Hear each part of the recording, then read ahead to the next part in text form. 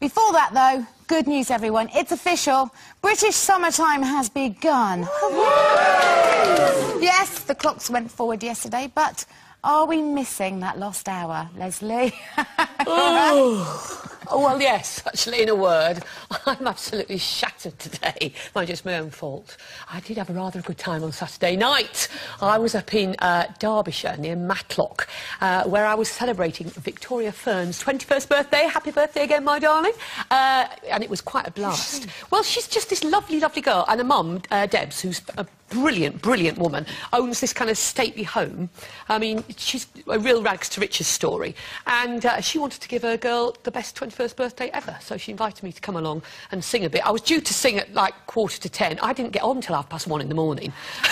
the whole thing didn't finish till four. And then, of course, they, they put the clocks forward, didn't they? Which I'd forgotten about completely. So it was like sleep, awake, you know. You've just... had an all-nighter. I have, at my age. Good, actually. I really enjoyed it. How, I think Karen's had an all-nighter and all, haven't you? Uh, no, I haven't actually. Oh, I could have had. I've been in Belfast for the weekend. Oh, nice. Oh, oh my God, I loved it. It's good Belfast. Do you know what? The best pub in the whole world is in Belfast. Yeah. it is, and it's called The Crown. And I have to say that thanks to a guy called Ronnie, cheers Ronnie, we nearly missed our flight because he said, said, when's your flight? We said, oh, it's in an hour. He went, oh, you've got time for another one. It's only across the road, the airport.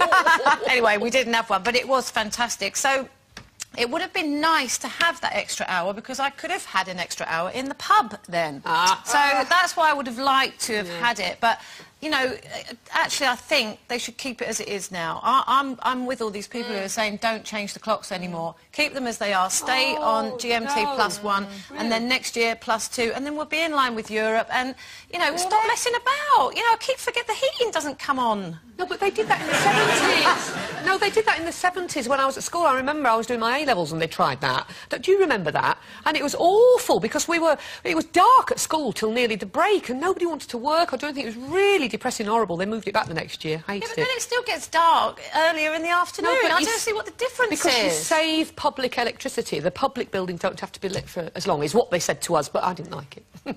no. Well, you know what? It's passed Stop me by this hour's difference. I've been in Norway for a month, so I've come back on the yeah, same, same time. Oh, yeah, we're so oh. to see you.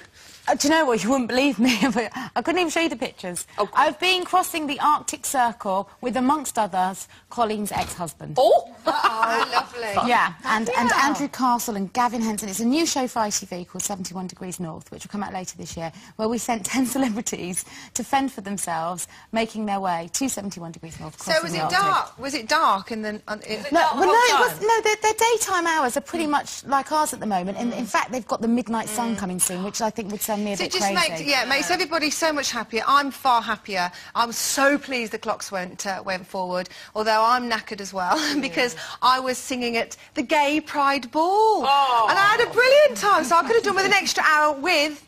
I was in the dressing room with butlers in the buff. And it, actually, there, look at oh. them. look at you. But they had nothing on in the back, so I was surrounded by bums. Oh. terrible. How frustrating knowing that you're so not their type. I know. Hey ho. What a waste. OK, now also keeping busy this weekend was Tory leader David Cameron, who was giving a speech to his party faithful. However, it seems that the papers today are more interested in the casual attire he chose to wear for the occasion.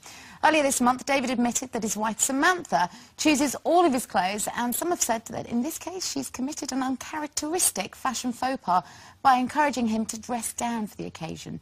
So, should politicians always dress the part when on duty, ladies? What do you think? I think they should, because I think it's what we expect. I think a, a person has, who has a certain role should dress to that role. And uh, maybe it's just me being old-fashioned, but, you know, I like a man in a suit, and I just, you know what I hate? I hate politicians and people that dress in really like they think trendy clothes because they think it's cool but we just don't or we never will see them as that. Mm. so I think it's it's perhaps you know I mean I wouldn't dress a man. I wouldn't I, I, could, I couldn't be bothered. I like him I would like a man to know what he has to wear at a certain do or whatever. I mean I just I, I just couldn't be bothered I don't think. But I, I, he looks all right but it's just a bit uncool for me. Really? Can we get yeah. off his clothes Sorry? Can really? we get off his clothes? And, you know, I cannot believe the amount of coverage this morning, in the newspapers, yeah. devoted to what he was wearing yeah. for the speech. I don't care. I want to be. I want to hear what he's saying. I want him to say something, something that I want to hear. I don't care what he looks like. He could be walking around in Borat's swimsuit for all I care. I care less. You know, all I'm doing is listening, and I'm still not hearing anything I want to particularly hear. I think it's really naive, to be honest, of any politician to think that what they wear isn't going to have some kind of effect, Yeah. isn't going to affect the public's perception of what they are saying. And frankly, if you look a mess, and I really thought he did, then the people are going to think what you're saying is, is rubbish. They're going to think what you're saying is a mess.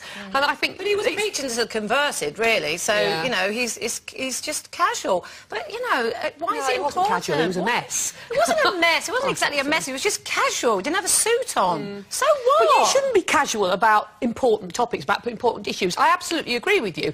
If only what he was saying had, had any import or any substance at all. Now, what about the idea that he's dressed by his wife, though? Oh, because obviously that is a task and a half. If you're taking responsibility for everyone in the house, not only the kids, but your men as well. Are any of us guilty of that? Do we dress our men? Oh, I do. Do oh, you? Oh, well, but he dresses me as well, Oh, to be I say, enough Yeah. have a lovely time. No, no, not put his own shoes on yet? No.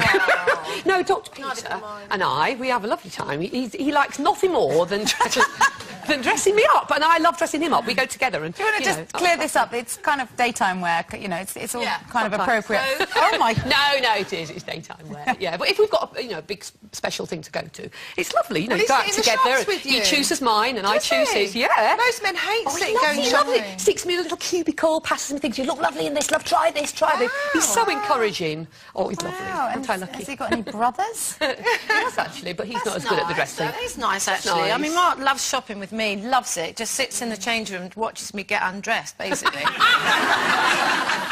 he does. I bet. I think it's wrong. Do I mean telling him, t- you know, dressing your man? I don't think. I I think it's just all wrong. Who's got time? And to be honest, I'd, I'd much rather undress him than dress him. Would you? but you have got you've got a young man that you you have to dress still, probably. Or does he dress himself already? Is he what is he eight, Jake? Jakey's eight. No, um, he dresses himself now, so I don't have to do any of that. So I certainly wouldn't be doing it to a big boy, would I?